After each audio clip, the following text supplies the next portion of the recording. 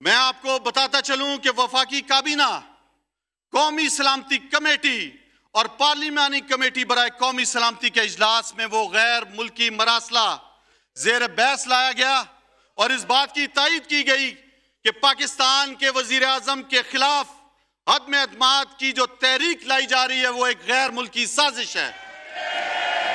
और अब वफाकी काबीना ने और अब जब आखिरी वफाकी काबीना का इजलास हुआ है, मोरखा नौ चार दो हज़ार बाईस को, इसमें फैसला किया गया कि यह मरासला डी क्लासिफाइड किया जाए, और यह मरासला मुझसे पहले कौमी असम्बली के स्पीकर असद कैसर को हुकूमत की तरफ़ से आया, और असद कैसर ने खुद पढ़ा और खुद बगौर जायजा उसका लिया, और जब मैं यहाँ पे एक्टिंग स्पीकर आके बना बैठा हूँ यह मरासला मेरे हाथ में है, ये मेरे तमाम मेम्बरान देख सकते हैं मरासला इस मरासले में बरमला गरूराना तौर पर, तकबराना तौर पर पाकिस्तान को धमकी दी गई है। और कहा गया है कि ये, आपको ये भी बताता चलूँ, आपको ये भी बताता चलूँ, ये मरासला पाकिस्तान में हदम अदमात की तहरीक आने से पहले ये मरासला दिया गया, ये आया यहाँ पे।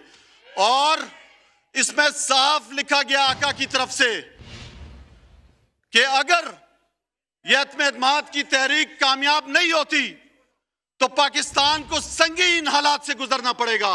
और अगर यह तहरीक कामयाब होती है यह बात मुतदर बार लिखी गई है इस मरासले के अंदर कि आपको फिर माफ़ कर दिया जाएगा। क्या पाकिस्तान के वज़ीर अजम इमरान खान साहब का यह कसूर था कि उन्होंने आज़ाद खारजा पॉलिसी की बात की, आज़ाद मीशत की बात की? क्या उन्होंने हमारे प्यारे नबी सल्लल्लाहु अलैहि वसल्लम की हुरमत की बात की।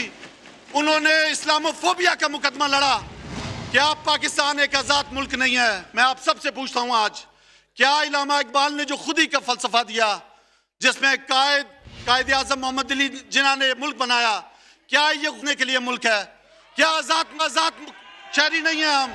आज पूरे पाकिस्तान के शहरियों से मैं पूछता हूँ कि क्या ये गुलामी करना है हमने? आज इस चीज़ की सजा दी गई वज़ीर आज़म इमरान खान साहब को। कि वो गुलामी नहीं मान रहा था। एक खुद मुख्तार पाकिस्तान की बात की। मैं वफाकी का भी ना जो मुझे ये इजाज़त से डिस क्लासीफाइड किया गया है। ये मरासला में